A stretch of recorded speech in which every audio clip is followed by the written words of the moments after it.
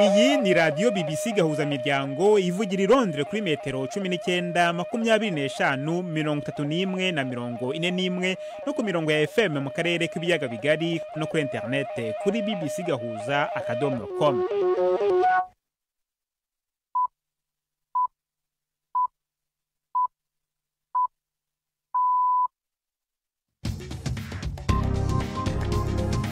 ubu ni saa kumi n'igice ku isaha mpuzamahanga ya gmt ni saa kumi n'ebyiri n'igice ku isaha yo mu rwanda no mu burundi. Muri studio muri kumwe na jacques niyitegeka izi ni ingingo z'ingenzi zigize aya makuru mu burasirazuba bwa repubulika ya demokarasi ya kongo muri teritwari ya rubero mu ntara ya kivu y'amajyaruguru. Hakomeje kuvugwa imirwano nyuma y'aho umutwe wa m makumyabiri na gatatu wigaruriye mu mpera z'icyumweru gishize. Imijyi imwe iri mu majyepfo y'ako karere.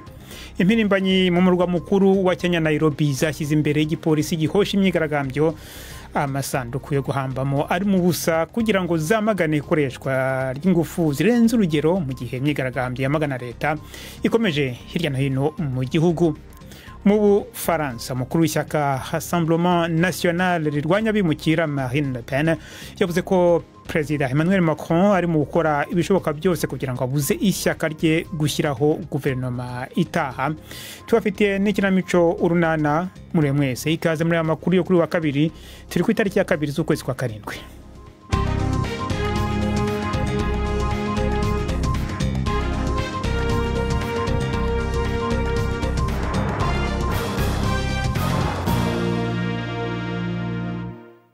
Aya makuru reka tuyahere ku mugabane wa aziya abantu bagera ku ijana bapfuye igihe abantu bakandagiranaga mu giterane cy'idini mu majyaruguru y'ubuhindi. Benshi mu bapfuye ni abagore n'abana.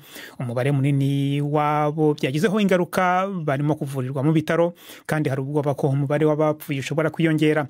Abayobozi bo muri leta ya uttar pradesh baravuga ko ibihumbi by'abantu bari bateraniye mu mujyi wa hatras mu giterane cy'amasengesho yarayobowe n'umu umuvugabutumwa w'idini ry'abahindu. Icyateye uko gukandagirana ntabwo cyari cyamenyekana neza ariko amakuru aturuka muri ako karere aravuga ko bishoboka kuba byatewe n'ubushyuhe bukabije bwari mu ihema ryari ryahashyizwe. Tujye mu karere k'ibiyaga bigari mu karere ka rubero mu ntara ya kivu y'amajyaruguru mu burasirazuba bwa repubulika ya demokarasi ya kongo. Haravugwa imirwano aho umutwe wa m makumyabiri na gatatu umaze iminsi wigarurira imijyi yaho. Amakuru atangazwa na radiyo kapi aravuga ko uretse imijyi ya kanyabayonga kayina na kirumba yafashwe mu cyumweru gishize ngo hejo uyu mutwe wa m makumyabiri na gatatu washakaga no gufata uwa mbingi. M makumyabiri na gatatu yo iravuga ko irimo kubohoza iyo mijyi kugira ngo itabare abaturage bari mu kuraswa n'ingabo za leta frdc hamwe n'indi mitwe bafatanije mu gushaka no kumenya ibirimo kuberayo. Mugenzi wanjye ni nahira dukunde yavuganye n'umuvugizi wa gisirikare w'umutwe wa m makumyabiri na gatatu liyetona colonel wiringoma atangira amubaza impamvu bafata iyo mijyi ntitwahafashe ahubwo twabohoje ibyo bisagara twabohoje kanyabayonga kayini na kibumba. Nk'uko mubizi leta ya kongo yagize urunani na fdlr kodeko wazarendo hamwe n'abacangiro bakoresha abo bantu mu gutera bombe mu bantu bacu. Rero mu gukingira ubuzima bwacu n'ubw'abantu bacu twabonye ko byoba byiza tubigije kure. Ni ukubigizayo rero gushikaho abantu bacu baronka amahoro. Kubera iki muri ko muri garurira iyo miji muri iki gihe? Mupaso dutegerezwa gutabara abantu bacu. Urazi ko aho abo bantu bari n'igisirikare kidatunganije neza. Fardc fdr na wazarendo na kodeko bica abantu baturira amazu n'ibigwati batwara ibitungwa by'abantu. Babonye ukuremwe. Ufite izuru risongoye baca bavuga ngo uri umunyarwanda. Bagaca bakwica abantu bose bafite umutekano muke. Ni akazi kacu ko gutabara abanyagihugu. Twarabirukanye kugira abanyagihugu babeho mu mahoro mupfaso ukivuga nyine ku bijyanye n'abanyagihugu basanzwe. I rubero hari abasirikare babiri bishwe n'abanyagihugu babagiriza gusumira urusaku M23. Mbega ntimubona ko muri ko muricisha abantu? N'abanyagihugu ntibabashaka kandi muvuga ko ari bo mugwanira. Mupfaso urabona videwo zaho duca hose. Abanyagihugu batwakirana akamwemwe. Barazi ko tuje kubatabara. Ahubwo ahari ingabo za leta ni ho hari izo ngorane. Urumva bose bakubonye ukusa uvuga ikinyarwanda bavuga ngo uri umututsi. Bagaca baguturira bakakwica. Aho leta iherereye abanyagihugu barihanira. Leta niyo ikwiye kubibazwa. Uhereye bunagana kiwanja rucuru gushika kanyabayonga na kibumba abanyagihugu babayeho mu mahoro. Baratembera amasaha mirongo ibiri n'ane ku mirongo ibiri n'ane. Ntawe unyuruzwa ubuzima. Ariko ibibera ahagenzurwa na leta n'akajagari. Dukomereze mu bufaransa umukuru w'ishyaka rassemblement national rirwanya bimukira marine le pen yavuze ko perezida emmanuel macron arimo gukora ibishoboka byose kugira ngo abuze ishyaka rye kudashyiraho guverinoma nako gushyiraho leta itaha ariko yashimangiye ko abafaransa batazemera kwimwa guverinoma bashaka maze yongeraho ko azashaka. Andi mashyaka bafatanya naramuka atagize ubwiganze mu nteko nshingamategeko nyuma y'icyiciro cya kabiri cy'amatora y'abadepite ateganijwe mu cyumweru gitaha. Ku cyumweru gitaha? Abakandida muri ayo matora baramenyekana mu masaha ari imbere. Aho ni mu gihe amashyaka agendera ku murongo w'ibumoso muri politiki n'ari hagati yishyize hamwe maze yiyemeza gutanga umukandida umwe rukumbi kugira ngo ahangane n'umukandida w'ishyaka rya marine le pen mu turere bahanganyemo mu cyiciro cya kabiri cy'amatora. Impirimbanyi mu murwa mukuru wa nairobi mu murwa mukuru wa kenya. Nairobi zashyize amasanduku y'abapfuye arimo ubusa imbere y'abapolisi bahosha imyigaragambyo kugira ngo bamagane ikoreshwa ry'ingufu zirenze urugero mu gihe imyigaragambyo irwanya leta ikomeje hirya no hino mu gihugu. Imiryango iharanira uburenganzira bw'ikiremwamuntu ivuga ko hishwe abantu mirongo itatu n'icyenda mu byumweru bibiri bishize bamwe ngo bakaba barashwe n'igipolisi. Imyigaragambyo yitabiriwe cyane yatumye perezida william ruto hareka gahunda yo gushyiraho imisoro mishya. Ariko uburakari abaturage bafitiye ubuyobozi bwe bwatumye habaho indi myigaragambyo. Ni inkuru ya wiros umugezwaho na prime ndi ku magenge abaharanira uburenganzira baronse icyo barondera. Ibinyamakuru byari byashyitse hagati ku murwa mukuru Nairobi igihe igipolisi kirwanya imigumuko. Cyegeranya amasanduku y'abapfuye ari gusa kikayapakira mu makamyo kikayatwara. Abayazanye bari bagamije gusaba yuko igipolisi kibazwa abo cishe mu bari bitabye imyiyerekano muri izo ndwi zibiri ziheze. Hari ishavu ryinshi ku burongozi bwa perezida william ruto. Mu bisagara byinshi habaye ukugwanira kwigarurira amabarabara hagati y'imigwi ahanini igizwe n'abakiri bato n'igipolisi. Abaharanira uburenganzira bakoresheje imbuga hwaniro mu gutanguza imyiyerekano mu ndwi zibiri ziheze bagiriza leta gukoresha imisoresore mu gutera intureka kugira bacafuze ingendo yabo y'amahoro. Mukomeje kumva bbc gahuza miryango muradukurikira kandi kuri kisoro fm mu majyepfo ya uganda abari kuri interineti muradukurikira kuri facebook live.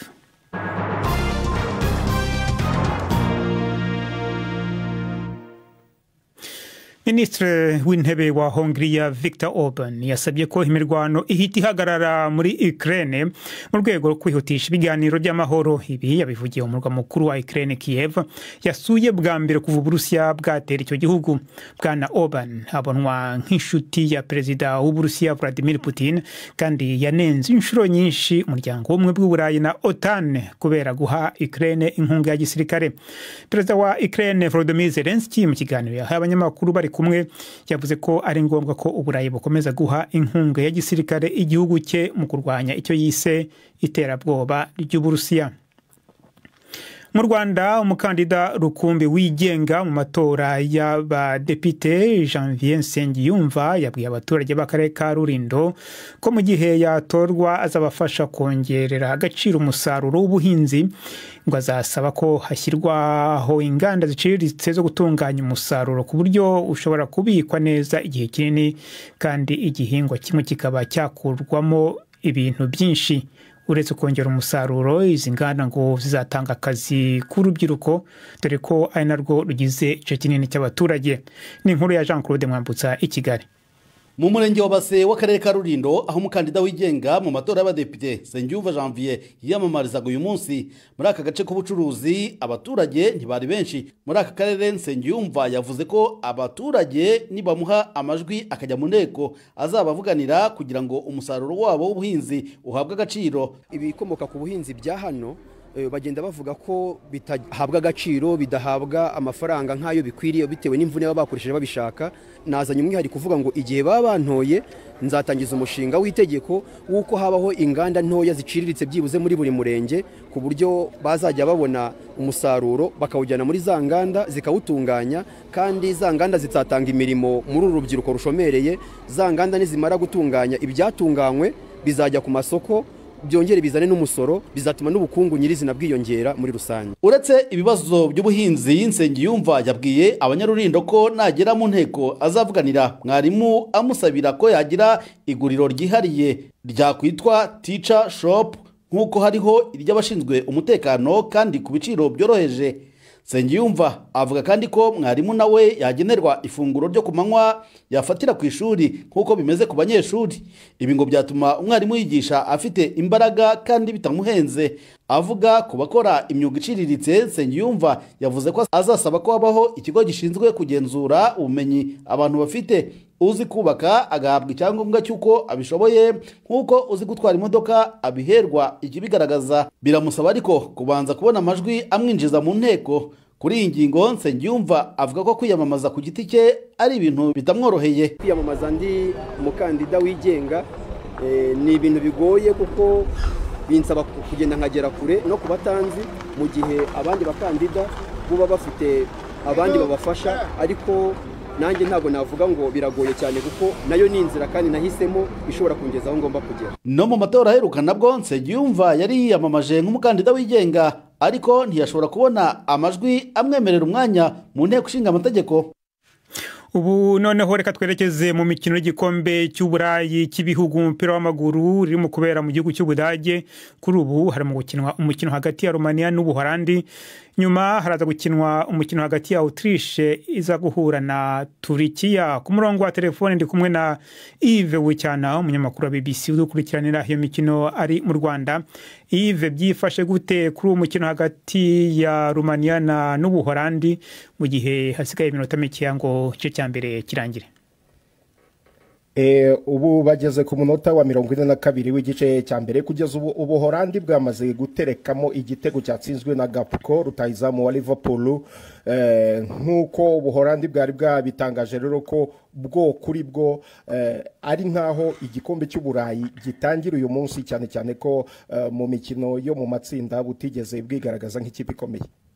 Hanyuma haraza gukurikiraho umukino hagati ya autriche na turikiya wo abantu bawitegaho iki?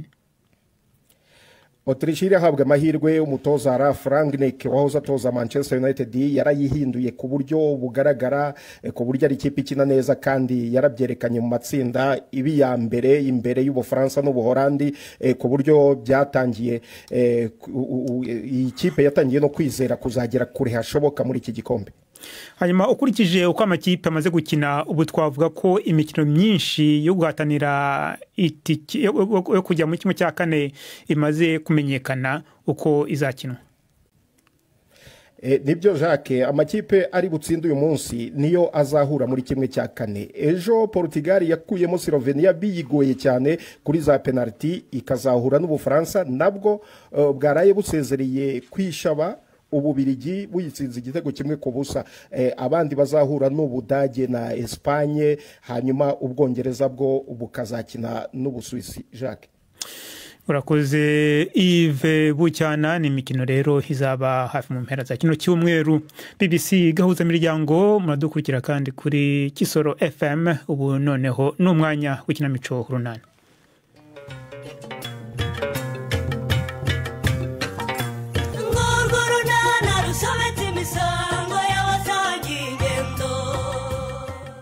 kwa bushombe bishimiye umusaruro bakuye mu matungo yabo.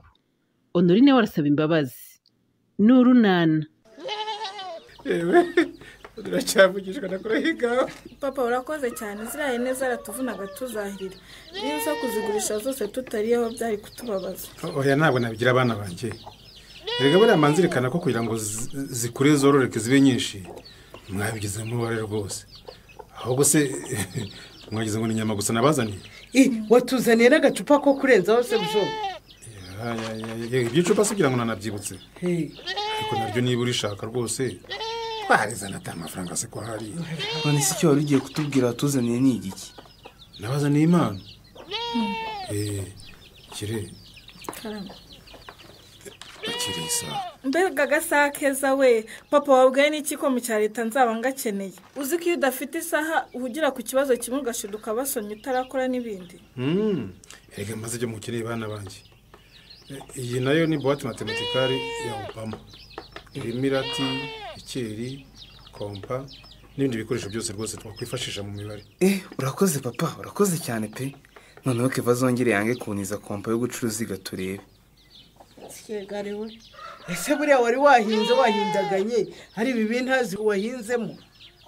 Eee si inyama gusa nazaniye na za kadu nta kadu mbonye ariko se kankwa ibi bikoresho naguriye abana biri gutwara iki koko?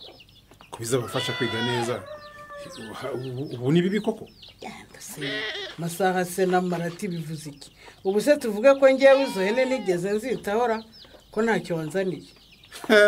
Ese mama.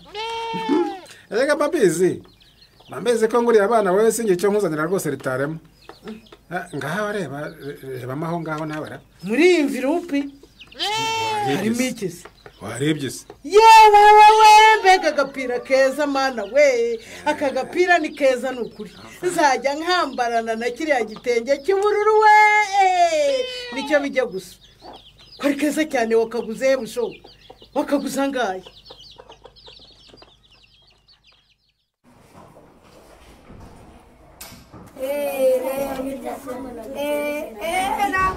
ko musakuza niko ni uvuze ngo yanga iyo tugiye kubara mu- muza kubera iki wanga iyo tugiye kubara ni uko bikomera ukunda iyo tugiye kwiga iki se kuririmba cyangwa gukora siporo none se ko narimbajije muzara nawe niko bimeze kaze nanjye imibare ndayanga mba numva twakiririmbira cyangwa tugakina agati aha. Ubu rero tugiye kujya mu matsinda yo kwigiramo kubara ku buryo ejo tuzaza twese twamenye kubara kugeza ku ijana. Sibyo? Yego. No kugeza ku icumi ngewe sindabimenya ngewe ngeza kuri kane. Ngewe no kuri magana abiri nageza. Aha. Ntiwumva ko tubonye mugenzi wacu ubasha kugeza kuri magana abiri? Noneho agiye kudufasha ejo tuzaze twese tugeza ku ijana. Sibyo mugwane? Maze nabafasha gute? Kandi nari mwarimu tica ukuntu ugiye kudufasha rero ugiye kuba umuyobozi w'itsinda. Noneho bazajya babara wumve ko babikoze neza ubyisha umukosore. Sibyo? Ntabwo nabishobora. Icyakunanira ni iki se umugwane kuba umuyobozi w'itsinda. Eh, humura nta kigoyi kirimo. Wongeye kuguha olivier nguhe delphine kazehe na muzara mu itsinda ryawe. Noneho wowe ujye ubara babisubiremo ibyo urumva byakugora? Nonse ko wangiye. Uwugica ndamukosora kandi azi ko bakosora. Nta kibazo niba utazi uko bakosora. Wowe wumva abaze nabi umusubirishemo kugeza wumvise abaze neza. Sibyo? Ibyo ntibyoroshye? Biroroshye. Aha. Twagiye rero mu matsinda yacu. Olivier? Delphine kazehe na muzara. Umuyobozi wanyu ni umugwaneza. Mumukurikire sibyo? Mbibutse kandi ko twese tugaruka twamenye kubara kugeza ku ijana. Bite sonori uransuye se? Ubuse ndugusura nagusura hano koko we cyangwa nazi iwanyu yewe ushaka ko twiganira waza iwacu uzi ugira ngo mageragihe cye ko magera ngiye kuryama gusa. Reka da nigiriye kwa muganga nuko nari nciye ahangaha ngo ngusuhuze. Yo uko ujyanye n'akabebe se kongeye kararwara umwana wanjye ni muzima ntacyo arwaye ni uko mujyanye kumupimisha. Ese igihe duhurira hafi yo mu rugo ntashye ntiwambwiye ko wari uvuye kumupimisha? None se umwana bamupimisha rimwe kane? Cyagiye nari mvuyeyo ariko n'uyu munsi barapima. Kandi biba byiza iyo nta nshuro n'imwe usibye kugira ngo umenye niba umwana akura neza. Yewe ngaho simbukaho nanjye reka nsigare mu kazi ko kwa budensiyana aha avuye ku ishuri agasanga bitarashya sinamukira. Nta kibazo bisigaremo. Ariko rero hari ikintu nashakaga kugishaho inama kane cyerekeranye n'iki? Uribuka Mm. ya gahunda nyine nigeze kubwira ko nshaka kwinginga akaremera akajya kunsaba. Ntiwambwiye se ko bimeze neza hatagize igihinduka mwagiye muri iyi mpeshyi? Ah, byarahindutse rero. Duteze. Ubu noneho hatagize igihinduka. Ntazapfa ntakowe. Wiki se kandi warambwiye ko karemera nta kibazo yabigizeho? Eh? ndetse bisubiyeho ntabwo ugishaka ayo mahirwe se nayakurahe kante? Ikibazo cyabayeho. Urumva? mm. nagiranye akabazo na mabukwe. Noneho karemera nawe ahita ahagarika gahunda zose ngo ntabwo yajya kunsaba atajyanye na nyina. Mm. none wumva byabaho koko hose ntawe afite nako niyaba atanamufite yashaka umuhagarariye. None se mbigenze ne kante ko karemera yarahiye ngo nintajya gusaba nyina imbabazi ngo n'ibyo gusaba azabivamo burundu. Kandi nanjye ndumva ntazajya gupfukamira uriya mukecuru rwose. Ariko nuri wibuke ko uriya ari nyoko bukwe rwose. Ubishaka wanamupfukamira ariko umubano mwiza ukagaruka. Mupfukamira se ndwana n'iki uriya ko atari imana.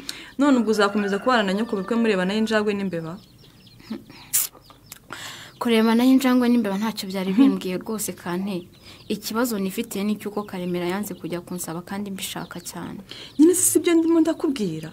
Wicishije bugufi ukagenda ugasaba imbabazi nyoko bukwe mukongera mukabana neza na karemera agakomeza gahunda byagutwara iki? Ntacyo byantwara. Ariko se ndamutse ngiye kumwikubita imbere yarangiza akanga no kumbabarira.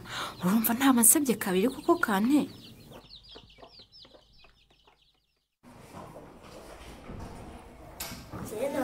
ubaze kangahe? Nabaze kangahe? Urambeshya urambeshya ntabwo wabaza Eh, eh, muceceke muri gusakuza cyane. Muceceke. Muceceke. Niko? Ko musakuza cyane murashaka ko nzajya mbahana? Ni olivier uri gusakuza. Kandi ari wowe uri kureba inyuma. Niko inyuma urahareba iki warebye imbere? Ntabwo nongera. Ntiwongere sibyo? Tugiye kureba rero niba ibyo twigiye mu matsinda yacu twabimenye sibyo? Yego. Aha. Muzaratambuka uze imbere. Hanyuma utubwire ibyo mwize mu itsinda ryawe. Twize kubara kugeza ku icumi. Mwize kubara kugeza ku icumi? Yego. Abandi mumbwire mwize kubara kugeza kuri kangahe? Ku ijana. None ko abandi bavuga ko bagejeje ku ijana ku wowe wagarukiye ku icumi muza? Nanjye ari ijana nuko nari naryibagiwe. Hey ngaho rero baratwumve. Rimwe kabiri Mhm, gatatu mhm, kane gatanu Mhm. gatandatu icyenda icumi. Oya oya mureke guseka mugenzi wanyu sibyo? Ntabwo ari byiza. Asimbutse umunani. Yego yasimbutse umunani. Nta wundi mubare yasimbutse? Yasimbutse karindwi n'umunani. Hey muza wabyumvise ko wasimbutse umunani na karindwi? Sibyo? Ongera ubare ariko noneho ubyibuke ntiwongere kubisimbuka. Ngaho bara. Umunani karindwi icyenda icumi. Kubisubije urudubise kandi byarimo biza muza. Eh, zana ikayi n'ikaramu yawe hano nkwereke. Nta karamu mfite. Eh, none se waje kwiga nta karamu ufite? Yego iyo nari mfite narayitaye. Kuki se utabwiye ababyeyi bawe ngo bakugurire indi? Narabibabwiye barambwira ngo nta mafaranga bifite. Hanyuma bakumva ko uje kwiga nta karamu ufite ngo abandi ni- nibandika wowe ubigenza uteze. Ngo njye nandikisha intoki cyangwa igiti ngo n'ubundi sinandika ngo mbe gitifu. Mbega imyumvire we. Eh, eh, eh, um, ah, ngaho subira kwiyicarira ndaza kureba uko mvugana n'ababyeyi bawe.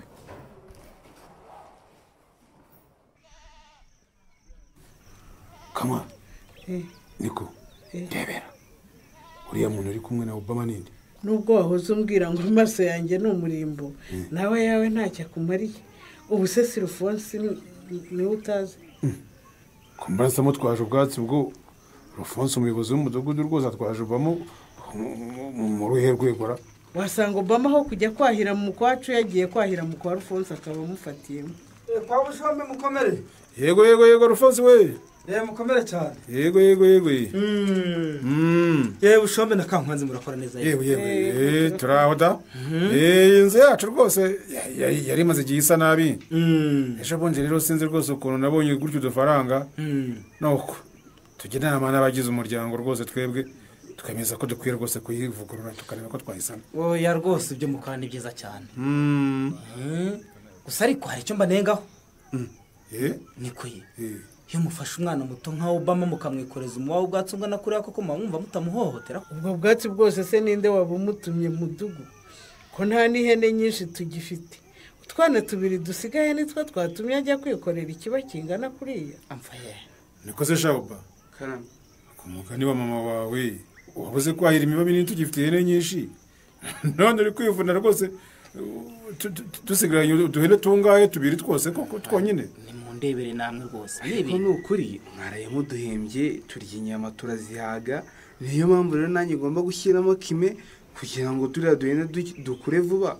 Ubundi tubyare izindi nyinshi tuzongere turye inyama twikure rwose. Ntubyumva se mutugu uyu mwana nawe ni umuti w'amenyo Oya, ahubwo uyu mwana na- azi n'ubwenge ariko. Niko uti nivunishije kugira ngo nkunde nshimishe ababyeyi kuko baraye bangaburiye inyama. Ariko bampaye na buwate matematikari urumva ko rero nta- ntabwo nari kwahira ubwatsi buke rwose. Ewe wagize neza gukora utiganda mwana we? Ariko rero kwikorera ibikurushije imbaraga na byo rwose si byiza. Eh, oba gukora ni byiza rwose ukomeze ukunde umurimo. We ntawe ubyanze rwose. Ariko nk'uko papa wabikubwiye ujye ukora ibiri mu bushobozi bwawe. Eh, kwikorera ibikurusha imbaraga bishobora kukumugaza